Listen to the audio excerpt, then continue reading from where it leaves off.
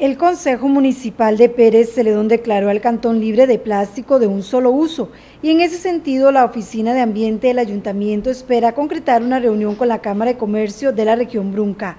La intención es convocar a los representantes de los diferentes comercios con el fin de que no utilicen, por ejemplo, pajillas, estereofón y otros plásticos de un solo uso. Nosotros ahorita estamos esperando una reunión con, con la Cámara de Comercio, se va a hacer aquí en el Complejo Cultural, tuvo una reunión con el, sí, el comercio Va a venir gente, empresas que tienen materiales biodegradables para explicarles a la gente el precio, o sea, al comercio, ¿verdad?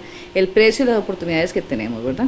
Porque creemos que solamente el plástico existe, ¿no? Existen eh, desechables hechos con material de almidón de yuca, de bambú, de caña, o sea, otros productos más que son igual de buenos, se pueden reutilizar y todo, y, pero que no son tan contaminantes. Como parte del proceso se visitan los comercios y se entrega información del proceso que se sigue para motivarlos a unirse a la iniciativa. Sí, y ha tenido buena acogida, mucho comercio ha llamado acá y nos pregunta realmente este eh, cómo hacer el cambio, dónde, compran, dónde comprar el producto, este, y ya lo están haciendo. Es para uno es motivante cuando uno va a nosotros y te pide algo y te lo dan en un desechable que es biodegradable, ¿verdad?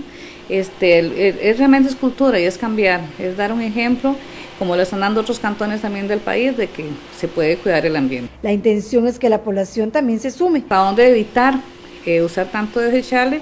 Hasta dónde nosotros en nuestra vida privada usar nuestra propia bolsa de tela, este, usar nuestros platos no desechables, sino platos de verdad o simplemente un almuercito envuelto en hojas, que realmente es un orgullo para el país tener esa tradición, no danos pena de eso, a mí ser un ejemplo a seguir por las otras personas. La fecha de la reunión aún no está definida. Todavía no, pero ya está en proceso. Ya casi se ha cubierto toda la zona de San Isidro Centro y después nos vamos ya a expandir a las áreas más alejaditas. De días dar la información a todo el cantón. Este, también se va a suministrar información por medio de los consejos de distrito, del acuerdo municipal. Pero sí ya estamos en proceso, ya coordinamos con las empresas, vamos a empezar también para nivel interno con nosotros, porque a nivel interno hay que empezar por los funcionarios municipales para que ellos nos sirvan también de, de personas promotoras del cambio que vamos a hacer.